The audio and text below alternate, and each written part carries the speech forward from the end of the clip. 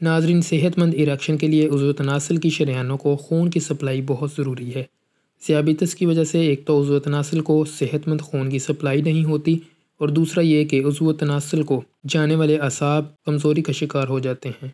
नाजरीन, उज़व तनासल में खून की नालियों में खून जमा होने से ही इरेक्शन होती है, लेकिन ब्लड शुगर लेवल ज़्यादा होने से ये शरियानें ब्लॉक होना शुरू हो जाती हैं। इनमें शुगर के इज्तम की वजह से छाले से बन जाते हैं, जिसकी वजह से खून की सप्लाई ठीक तरह नहीं हो पाती और इरेक्टाइल डिसफंक्शन का मसला बन जाता है।